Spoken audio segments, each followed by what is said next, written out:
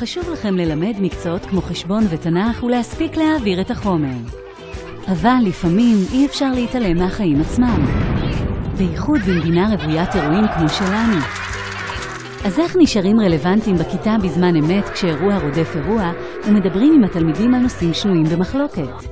איך מטמיעים בהם חשיבה ערכית וחברתית דרך אותם אירועים אקטואליים? האם התלמידים שלכם יודעים לפתח דיון ביקורתי ועדיין לכבד דעות שונות משלהם?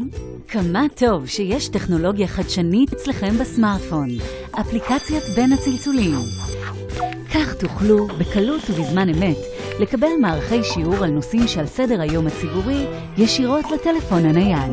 האפליקציה גם מציעה פעילויות ומערכי שיעור סביב חגים ומועדים מיוחדים, בדגש על פיתוח חשיבה ביקורתית, ערכית וחברתית.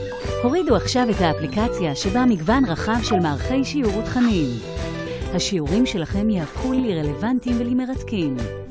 התלמידים יתרגלו דיאלוג סובלני המונע אלימות. ואתם?